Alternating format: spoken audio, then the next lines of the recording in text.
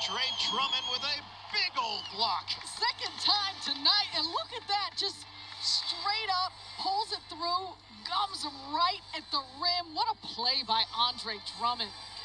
The big man has been a force on the inside, in particular, how he's protected the paint.